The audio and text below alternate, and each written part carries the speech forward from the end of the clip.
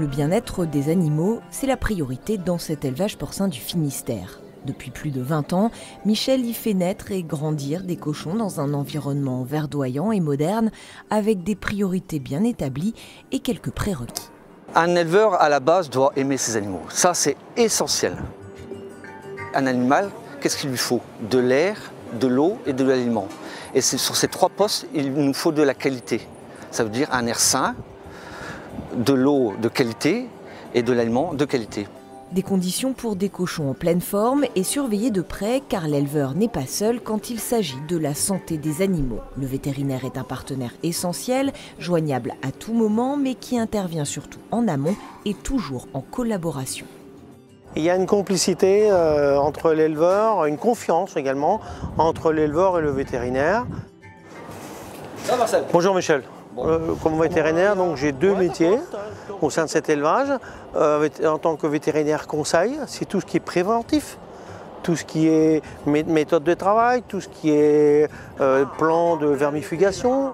On met en place des plans de vaccination, mais adaptés toujours aux besoins de l'élevage. Après, malgré toutes les préventions qu'on peut faire, il peut arriver quand même qu'il y ait des maladies. Bah, l'éleveur connaît mon téléphone, appelle directement sur mon portable, me laisse un message. Ça peut être une réponse par téléphone, ça peut être une réponse par visite.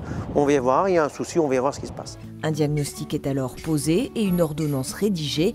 L'agriculteur administrera le traitement conformément à la prescription du vétérinaire.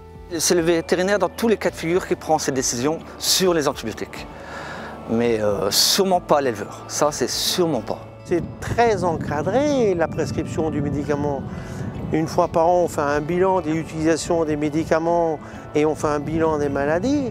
En fonction de ça, on met une série de produits, c'est mis sur un protocole de soins. Et sur l'ordonnance, il y a pour qui c'est prévu, pour quelle maladie c'est prévu, et quel est le délai viande. Le délai viande, c'est un délai sécurisé à l'extrême par l'administration qui dit qu'un produit, après injection, doit attendre 8 jours, 10 jours, un mois avant de pouvoir commercialiser les animaux pour la consommation humaine. Mais je suis le premier à vérifier que l'éleveur respecte les délais, parce qu'il y a une complicité, mais il y a une co-responsabilité dans ce genre de démarche. Une utilisation raisonnée des médicaments, donc supervisée par un professionnel de santé, et toujours dans l'intérêt du consommateur.